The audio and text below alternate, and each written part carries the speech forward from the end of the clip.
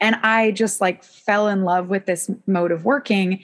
But I couldn't stand the idea that a lot of what people do is they work with materials that are, when you sculpt with them, they're permanent or they are, you know, water based clays that need to be fired, or they are impermanent materials that need to have molds made of them.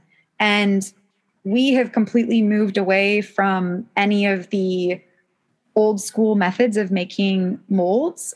And we are completely like in this cycle of like worshiping petroleum based products, uh, silica, silicones, um, as being like the only options that are on the market. And those are incredibly expensive. Yeah. And they are non-biodegradable and so my thesis is just constantly in life trying to teach people that there are alternatives that if you search out on the internet long enough and do a lot of experimenting and are incredibly privileged to have a space to be doing this work and to be doing all of this research you can find alternatives. Um, and so my thesis in, in life has kind of become I wanted to be a teacher in the academic setting.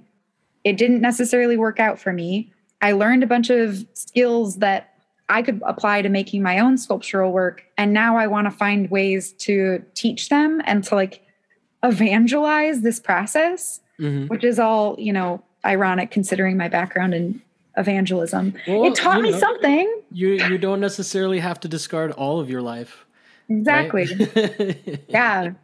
Uh, yeah. So that's interesting. So what like then uh, uh, is this stuff less toxic to the world that these these alternative materials or is it mostly going to uh, save money? Is it oh, is oh, like if there's an ecological side to this as well? Oh yeah, yeah. And that's yeah, what you were I, you were you were teaching a class of this uh, at uh, OPAF, right? Yeah. So Sasha and I met at Monte Vista. I wanted to say you. By the way, you are the queen of name dropping names I've never heard. oh, that's great. That's great. If that means that you get to find some awesome new exciting artists like I, you know what? I, that's another well that's what i'm saying. It's like i'm being ironic because it's not a name drop if it's like somebody that's kind of obscure. You're not like yeah, oh, oh, that's oh brad pitt gave me this advice.